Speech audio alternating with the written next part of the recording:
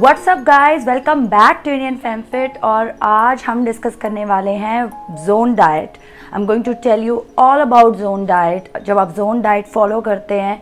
किस टाइप का खाना आपकी प्लेट में होना चाहिए what kind of food you are going to avoid और जोन डाइट से आपके जो फ़िज़िकल फिटनेस के गोल्स हैं are they going to meet और not so we are going to cover all that in this video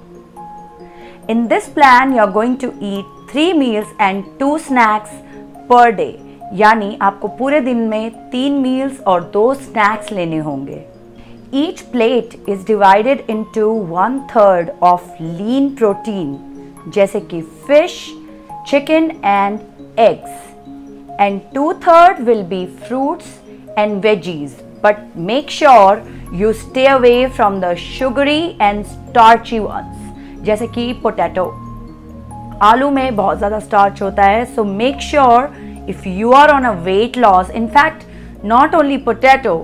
बल्कि ज़मीन के नीचे रूट वाली जितनी भी वेजिटेबल्स हैं in case you are on weight loss just avoid like carrot beetroot just for the weight loss period. But otherwise, you can always include carrots and beetroot. They are great great great for health. As an alternative or in fact for the veggies you can try adding spinach yani palak, broccoli and bell peppers. Bell peppers मतलब वो जो शिमला मिर्च जैसे लाल पीले colour के जो बेल पेपर्स आते हैं they are very very good for health इसके अलावा ऐड करें हेल्दी फैट्स जैसे कि ऑलिव ऑयल अवोकाडोज एंड बादाम यानी कि almonds this combo of 40% percent carbs 30% protein and 30% fat is going to put you in an anti-inflammatory zone. Zone diet follow करने के आपको रिजल्ट्स तो दिखेंगे but it needs a lot of prep work आपकी kitchen में protein sources के साथ साथ आपके फ्रिज में fruits and vegetables have to be available all the time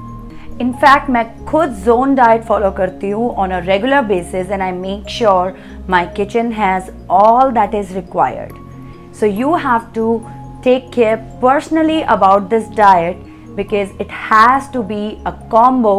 of carbs protein and healthy fats do comment in the comment box and do let me know if you like this video also let me know अगर आप चाहते हो कि मैं कोई particular diet के बारे में cover karo in my next videos and I will come back next week with more interesting videos. Till then, follow me on Instagram and Facebook. Don't forget to check out my IGTV and I will get back next week. Till then, bye bye.